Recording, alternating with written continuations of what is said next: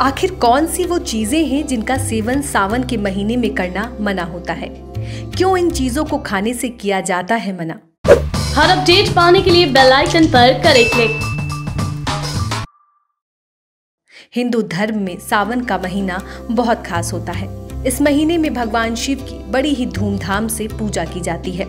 हर सोमवार भगवान शिव के लिए व्रत रखा जाता है। मान्यता है कि सावन का महीना महादेव को अत्यंत प्रिय है। अगर महादेव के भक्त इस समय भक्ति पूर्वक उनकी पूजा करें तो महादेव जल्दी प्रसन्न होते हैं और भक्तों की मुराद जल्दी पूरी करते हैं। लेकिन सावन के महीने में कुछ चीज़ों को न खाने के नियम शास्त्रों में बताए गए हैं और उन्हीं चीज़ों में से एक है दूध और साग का सेवन। धार्मिक रूप से मान्यता है कि दूध महादेव को अत्यंत प्रिय है और इससे सावन भर उनका अभिषेक किया जाता है। इसलिए दूध को सावन के महीने में नहीं पीना चाहिए। वहीं साग न खाने को लेकर कहा जाता है कि महादेव को प्रकृति अत्यंत प्रिय है। सावन का महीना बारिश का महीना होता है और इस महीने में प्रकृति बेहद खूबसूरत नज़र आती है। ऐसे में पेड़ पौधों को कोई नुकसान नहीं पहुँचना चाहिए। साग भी पौधों का ही स्वरूप है। इसलिए सावन भर इसे ना खाने की सलाह दी जाती है।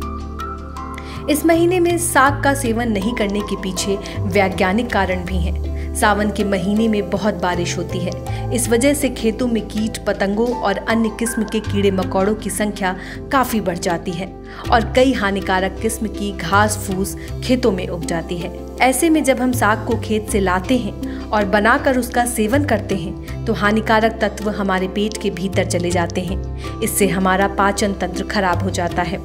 सावन के महीने में गाय और भैंस को जो चारा दिया जाता है, उसमें खेत से आए हुए कई हानिकारक घास फूस मिले होते हैं। ऐसे में गाय भैंस चारे के सेवन के साथ साथ कई हानिकारक तत्वों को भी खा लेती है। इस कारण उनके दूध के सेवन से वही हानिकारक तत्व हमारे भीतर भी पहुँच जाते हैं, जिसके चलते हमारे बीमार होने की संभावना बढ़ जाती है। तो इस सावन के महीने में आप भी दूध और साग का सेवन ना करें और भगवान शिव की पूजा अर्चना करके उनकी कृपा पाएँ। भगवान शिव आपकी हर मनोकामना पूर्ण करेंगे।